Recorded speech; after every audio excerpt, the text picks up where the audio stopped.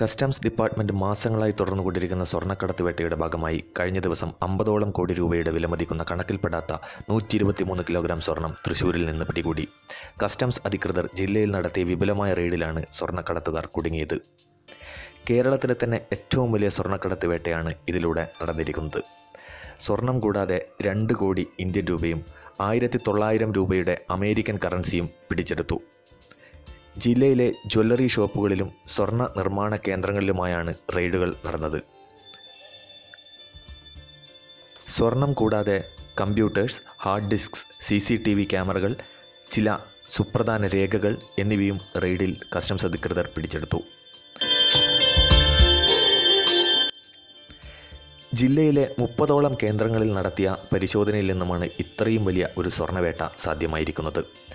Customs അധികാരികൾ പറയുന്നതനുസരിച്ച് ഇന്ന് കേരള മാർക്കറ്റിൽ ലഭ്യമായിക്കൊണ്ടിരിക്കുന്ന എഴുപത്തിയഞ്ച് ശതമാനം സ്വർണത്തിനും ബന്ധപ്പെട്ടവർ ടാക്സ് അടയ്ക്കുന്നില്ല എന്നുള്ളതാണ്.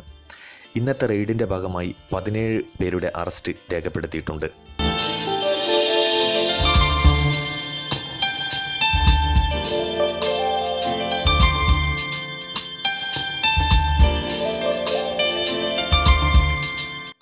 നമ്മുടെ നാടിന്റെ സമ്പദ് വ്യവസ്ഥയെ കാർന്നു തിന്നുന്ന ഇത്തരം ഗൂഢസംഘങ്ങളെ കസ്റ്റംസ് അധികൃതർ വലയിലാക്കിയ വിവരം പൊതുജനങ്ങളുടെ അറിവിലേക്കായി എത്തിക്കുന്നതിനാണ് ഈ വിഷയം ഇന്നിവിടെ പ്രതിപാദിച്ചത്. തുടർന്നും നമ്മുടെ നാടിന്റെ മുക്കിലും മൂലയിലുമുള്ള ഇത്തരം ഗൂഢസംഘങ്ങളെ വലയിലാക്കുവാൻ കസ്റ്റംസ് അധികാരികൾക്ക് കഴിയട്ടെ. ഈ വീഡിയോ നിങ്ങൾക്ക് ഏവർക്കും ഇഷ്ടമായെങ്കിൽ സൈഡിൽ കാണുന്ന സബ്സ്ക്രൈബ് ബട്ടൺ പ്രസ് ചെയ്യുക ലൈക്ക് ചെയ്യുക ഷെയർ ചെയ്യുക. Thank for watching.